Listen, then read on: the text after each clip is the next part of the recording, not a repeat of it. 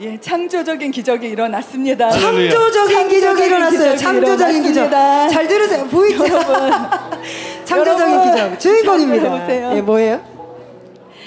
구순 구개열, 구순 구개열이란 그 질환으로 인해서 우리 형제님이 태어날 때부터 있었는데 두 달 전에 어 그래서 잇몸을 수술을 하게 되었습니다. 그런데 잇몸 양이 부족한 바람에 치아 뿌리가 이렇게 다 드러나 있는 상태로 지금 두 달이 지났는데 병원에서는 뭐 더 방법이 없다고 왜냐하면 잇몸이 모자라기 때문에 잇몸은 불치. 그런데 잇몸이 지금 생겨나서 치아 뿌리를 덮었습니다. 할렐루야. 할렐루야.